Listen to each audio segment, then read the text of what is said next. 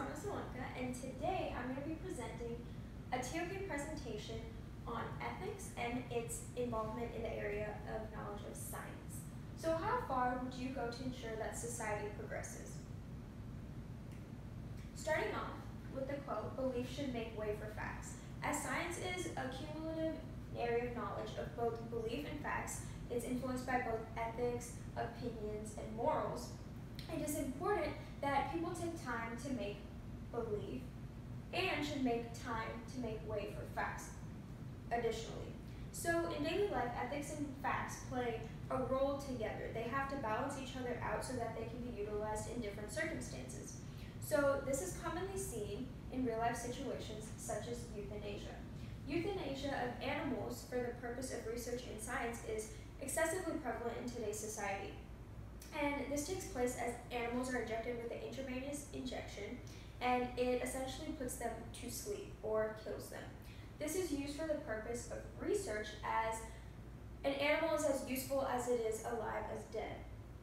So in Belgium in 2002, euthanasia was also used in people and is still used in people today. And there are many different forms of euthanasia.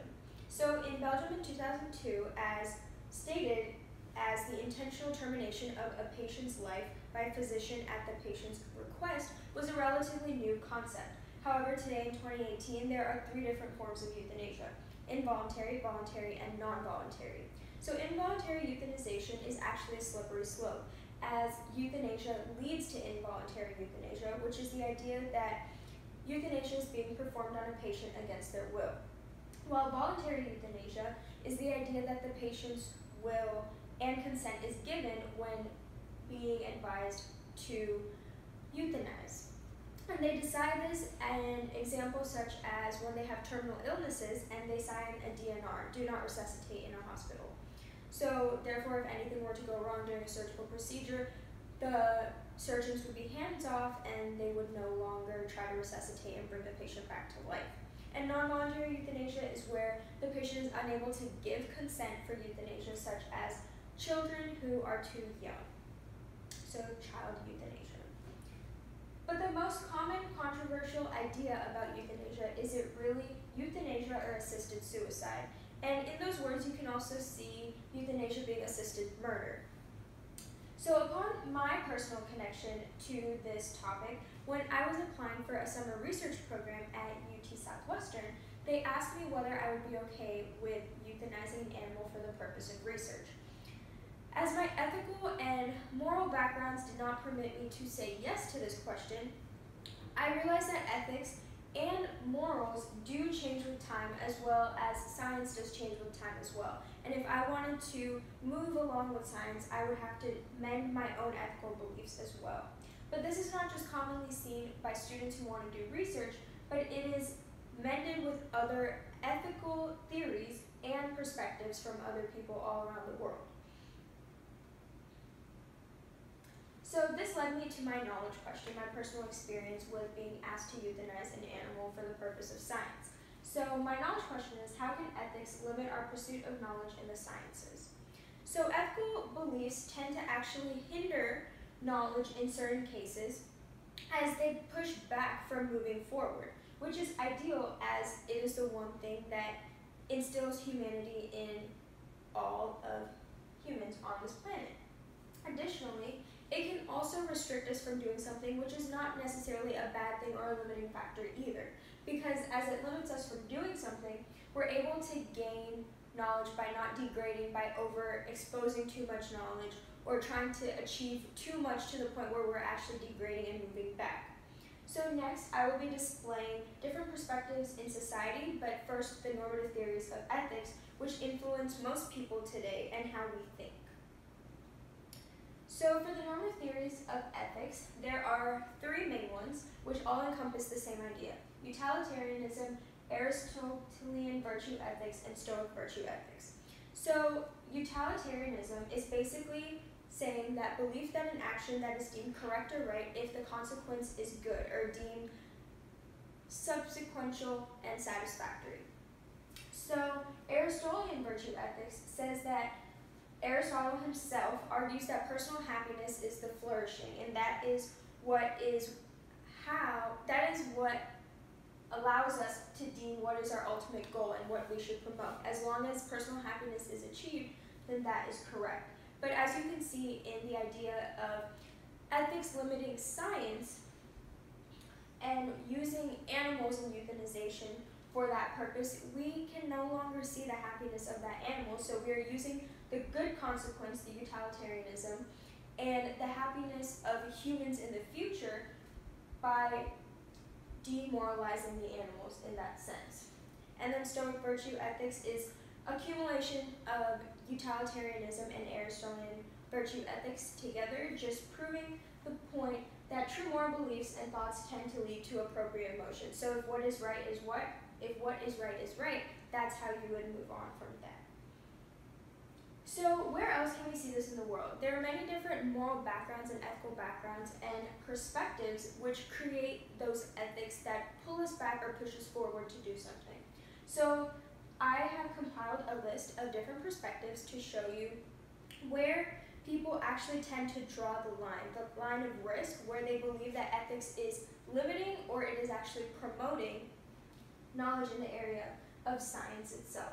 So in the idea of euthanizing an animal, an animal activist would believe, would have the ethical belief that it is wrong to euthanize an animal due to the reason that they believe that animals should actually have the same rights as humans. In that case, it would be wrong to even test on an animal if you were to not test on a human.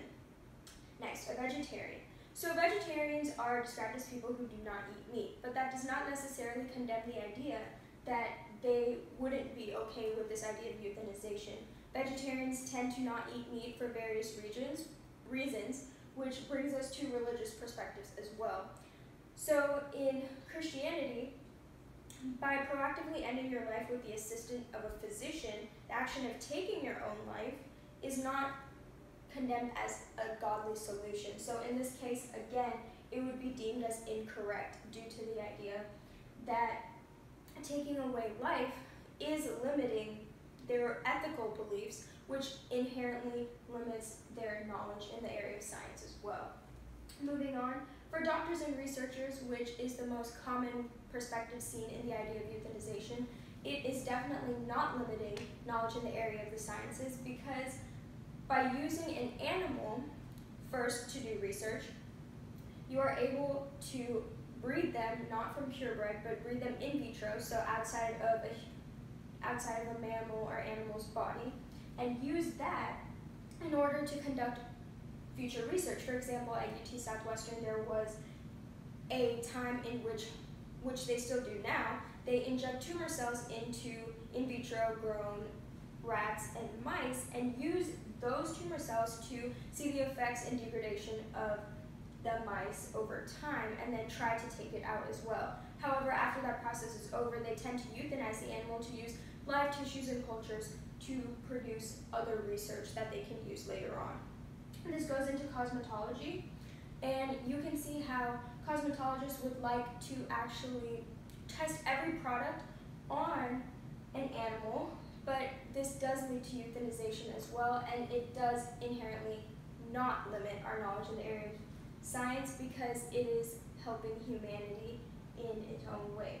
But the other idea is that emotional aspect which is adhered to ethical perspectives, which is seen in farmers and pet owners, as they do tend to euthanize, not for the purpose of science, but for their own reasons, because they believe that they are clearing the suffering of their animals. So inherently that does also limit our knowledge of science as it is not being respectively put into the use for scientific so other ways that ethics can limit our knowledge in the sciences is most prevalently in stem cell research. Stem cell research is taking a cell that is undifferentiated, which means that it's not specialized yet. And this is most seen in the idea of embryonic stem cells, where you have an unspecialized cell, so it can turn into any different cell through the idea of mitosis, which is cell replication and division and you use those stem cells themselves to create something else that can help in tissue repair, repair and damage. And when you're using embryonic stem cells, it becomes very controversial because it is actually coming from a baby. And when these stem cells come from a baby, it is seen as they're taking life away. So, as ethics tell us to believe, and other people with perspectives who are very conservative in that aspect tell us to believe that it is wrong to take life away to give it to someone else, that is where we see that idea that stem cell research is actually going to limit our own ethics. However, as we move forward, and if we were to use embryonic stem cells, research would prevail, and then other people would be able to live longer in that aspect. Another idea is consuming GMO products. Those are genetically modified organisms. The idea that they do not have organic, their own organic DNA takes people away from the idea of consuming this product. However, if we're not allowed to genetically modify organisms, most of the crops would be extinct, then again limiting our knowledge in the sciences. One of the most prevalent thing in society that is coming up is editing human genomes for desirable characteristics. So as human genomes are being edited, they're being put in sequences of DNA that allow us to have desirable characteristics. This could essentially help our population, but as people see this as playing God, most people allow their ethics to limit them from coming and moving further in society, which could actually benefit us. But as you see in the previous idea of utilitarianism and doing what's best for our society and what makes us happy, you can see that in perspectives such as utilitarianism paired with doctors and researchers would actually promote this idea and their ethics would be able to move society further. Therefore, all in all, how far would we go? How far would we want to push ourselves beyond our ethics and moral beliefs to actually move beyond what we believe is right and move to new feats and see what could be right? So the multiple perspectives come together to display the idea that ethics are valuable in everyday life, but at one point, a line of risk should be drawn. For each perspective, there was a line of risk that's being drawn. For example, for animal activists, they draw the line of risk where they believe that any animal being hurt, it's wrong, so they cannot move past that. However, doctors and researchers are constantly pushing that forward to increase their knowledge and not limit their knowledge in the area of the sciences, as euthanizing is a very strong part of that, as it is one part that is going to stay still and will allow ethics to push back and allow doctors and research to further pursue their careers and help society as a whole. Therefore, as this ideal is dependent on what seems necessary to each other, everyone should come together and create that good balance between ethics and fact as belief should make way for fact. Additionally, therefore, in my perspective, ethics are important to an extent, but in order to dwell beyond our comfort zones, in the horizon of unknown knowledge, we must unveil our covers of confinement and move towards greatness without restriction. Therefore, as there is a healthy balance at one point, ethics should come back and allow knowledge to increase in the idea that we're not limiting ourselves by our ethics forever.